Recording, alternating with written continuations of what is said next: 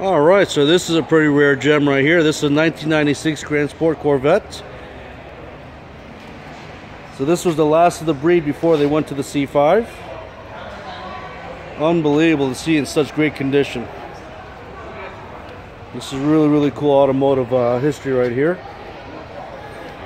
Got gigantic tires up back for this old school car.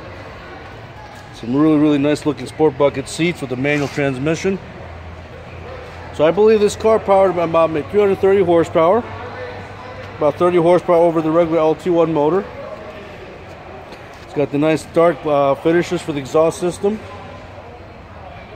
Really awesome looking automobile. So here's some stats about this particular car we're looking at. So this is more detailed. So it's LT4, so it's 330 horsepower, 340 uh, foot-pounds of torque. Connected to six-speed manual. Beautiful automobile.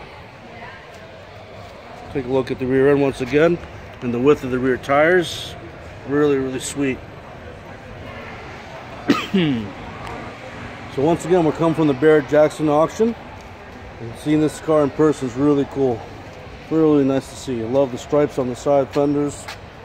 Grand Sport logo. It's a little bit more automotive history here. So comment below what you think of the car, and we'll catch you guys later. Have a great day, everybody.